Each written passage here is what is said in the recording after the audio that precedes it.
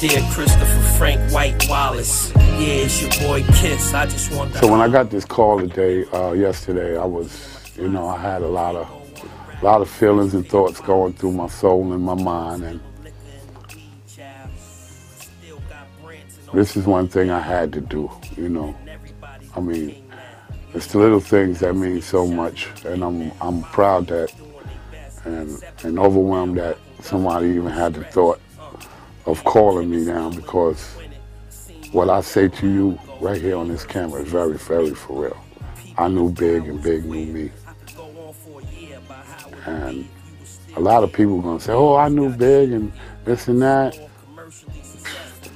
Yeah, everybody knows you when you're a star.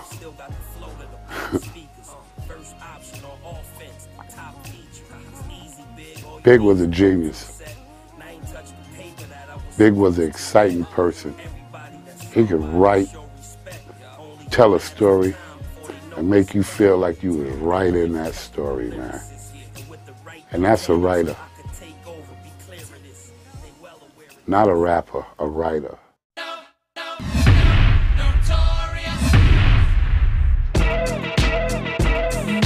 Tell Puff I'm down with chasing the dream. Whatever he want me to do, I'm in.